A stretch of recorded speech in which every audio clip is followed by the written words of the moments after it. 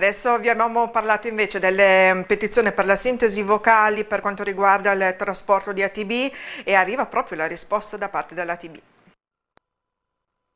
Alla petizione lanciata dall'Associazione Apri sezione di Bergamo con la richiesta di dotare tutti i pullman di sintesi vocale per l'annuncio di fermate e destinazioni, arriva la risposta di ATB, diretta interessata dell'istanza in questione. Già oggi una parte del nostro sistema prevede l'annuncio vocale a bordo e in particolare sui tram della linea Bergamo-Albino e su alcuni autobus sulla linea 5 stiamo sperimentando l'annuncio vocale di prossima fermata che è sempre stata la storica richiesta. Noi avevamo previsto prima dell'emergenza Covid che nell'ambito del progetto che stiamo realizzando, una volta completato questo sistema di localizzazione degli autobus sarà pa- possibile passare a quella fase del progetto della cosiddetta infomobilità in modo da rendere disponibile l'avviso su tutta la flotta. La parte invece di infomobilità consentirà non solo di dare le informazioni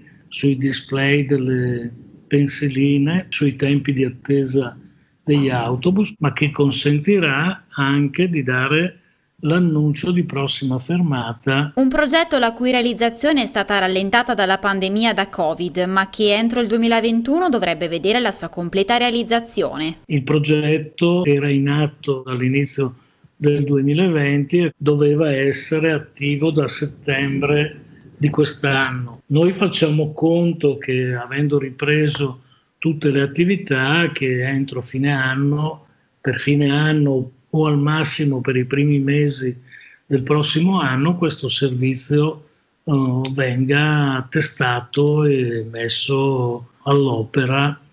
Stiamo cercando di utilizzare le migliori tecnologie perché l'esperienza di viaggio sia un'esperienza easy, facile e quindi noi pensiamo che l'infomobilità sia una delle leve principali. Va bene la petizione perché le petizioni sono uno stimolo, però noi stiamo agendo concretamente per dare una risposta questi, ai bisogni che questi cittadini esprimono.